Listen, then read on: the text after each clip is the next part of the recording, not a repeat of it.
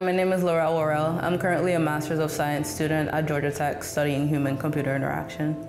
Given current and modern day PDFs, we kind of look at them on our computer screens. And if we were to take that image and drop it into the VR space, we have a really linear experience.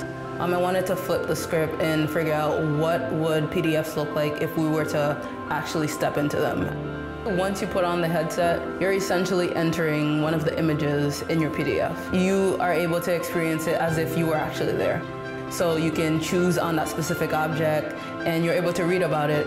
Um, this text is representative of the text that you saw in the initial PDF. You can exit them, go to different ones. Uh, you can scroll through these just like normal scrolling features. There's an annotation um, that allows you to see how much you have read versus how much you have left to explore. There are a few doors that we have in there, and so once you open that, you're moving on to a different image in your PDF document than just exploring as you would any natural space. Being at Adobe Research was really unique because I was able to work on something that hasn't been done before. Um, how are we experiencing content in the future? We don't really know, but this is just a scratch on the surface.